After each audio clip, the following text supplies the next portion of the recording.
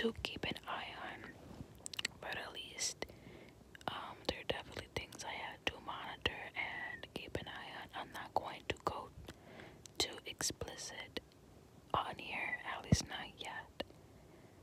Maybe when I feel more comfortable, but I don't like being too open on social media, you know, like there's certain things that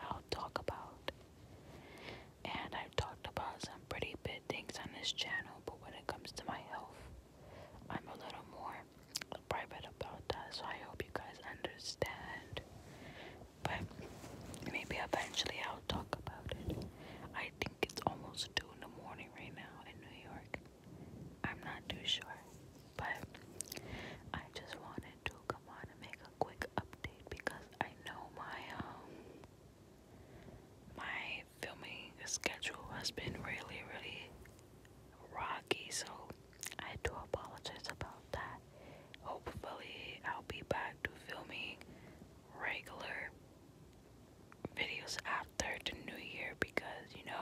holidays.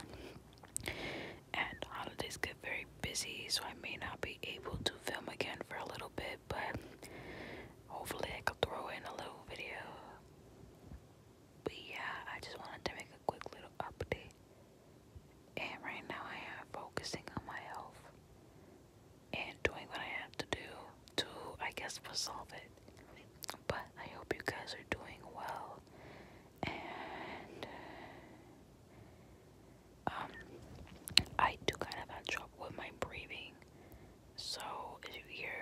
breathing. Please don't mind that. It's just me trying to keep my breathing in